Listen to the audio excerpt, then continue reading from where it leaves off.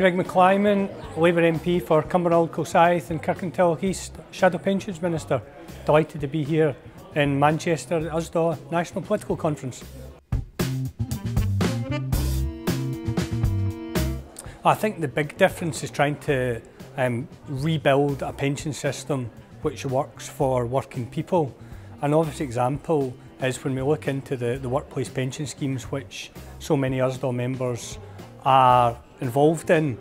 Critical thing is to ensure that actually the money that USDAW members are saving is being invested in a way which means that it will return a decent pension in retirement. And there's lots of factors involved in ensuring that happens, but a critical one is ensuring that those who take that money and invest it on USDAW members' behalf are actually not taking too much money themselves in commission. It started off very well. I mean, we, we, we have to be um, always prudent around the fact that it's still got some to go before everyone's been staged, but it's, I right to say, it's a Labour policy. The Coalition have rightly taken it, continued it, and it's, it's worked well so far. But we have to make sure that actually everyone gets a chance to save into a decent company pension scheme. A good example of where the coalition, in our opinion, um, have done something which is probably not the right thing to do, is around raising the, the threshold at which people are auto-enrolled. So it means that uh, up to a million people who otherwise would be in the auto-enrolled pension scheme aren't in it and most of them are women simply because the threshold keeps rising.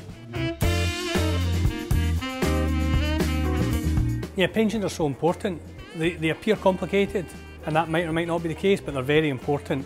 And we're seeing over the last 10, 15 years uh, a pretty um, obvious drift away from final salary pensions guaranteed to a, a, form of pension where so much more of the risk, indeed all the risk at times, is on the individual. We have to rebuild the system so that risk is shared between employers, employees and the state. And that's something Labour's committed to doing, for example, by making sure that every USDAW member and every pension, pensioner who is saving in a workplace scheme can be confident that actually the people looking after their pension savings are acting only in their interests, independent trustees acting in the interests of savers rather than the conflicts of interest which can happen at the moment.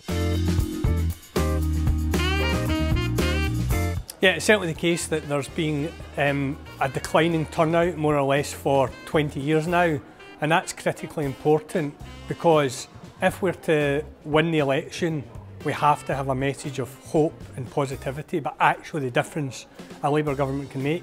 It can make that difference in pensions, in the ways in which we've talked about, making sure that actually um, the money people are saving is looked after in their interests and doesn't just become something where others in the city and otherwise make a good living off that money. But more widely, increasing the minimum wage, very, very important. More broadly than that, actually ensuring that at, in work, people can earn a wage and a salary which enables them to support themselves and their family. I'd say that we have to get an economy that works for working people. Minimum wage rise, very, very important, absolutely critical, but more widely, actually taking on that task of making sure that jobs and work pay. I mean, it's so obvious that low pay is such a huge part of the problem in um, in the UK. Just recently I was I was in the company remain nameless. I saw an advert for a, a job that was really um, lots of responsibilities, you know, significant duties, and it was £7.20 an hour. And that was a, a manifestation of the wider problem, which is low pay is a crucial problem in our society, and only Labour will actually tackle the low pay problem.